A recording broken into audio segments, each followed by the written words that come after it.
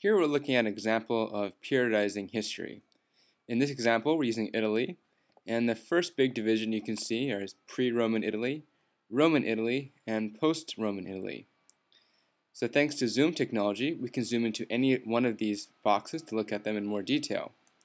So for example, in Roman Italy, if we zoom in here, we'll see that's divided into early Rome, the Roman Republic, and the Roman Empire.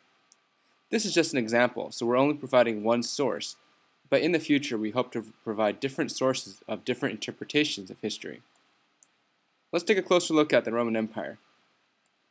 So what we've done down here is we've represented all the different em uh, emperors with little pictures or statues. So if we go into one of these, for example, and look at Hadrian, Hadrian is also a really good example of how there's really no limit to the kind of resolution that these images can be. So here's a quite large resolution image which is really just a small part of this uh, map here. And if we look over here, for example, here's a, a panoramic. Vesuvius. And these can really be gigapixel images, that is, images that are greater than 1000 megapixels, or 1 gigapixel. So, but again, that's just one small part of this entire document. Another fun thing we can do is we can embed papers. So if we look down here, we've got a paper talking about the periodization of history. This is an entire PDF, and any part of it you can zoom into.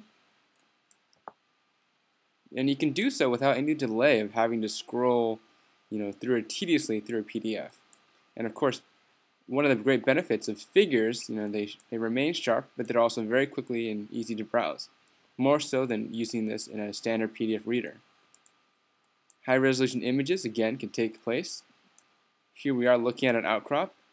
And if we had a gigapixel image of this particular outcrop, we could zoom down right onto the ground and look at an object right on the floor. In this case, the marker. For now, though, that's just a, an illustration. And one last fun thing we can do, we go back in this paper here, every paper has references. So here's the references cited of this paper.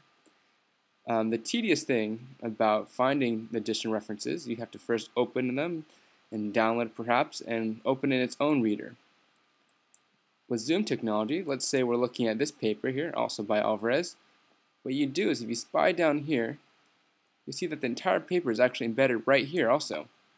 So without any delay, we can keep zooming, and this is a full PDF in full resolution. We can look at any one of these diagrams if, uh, if we wish.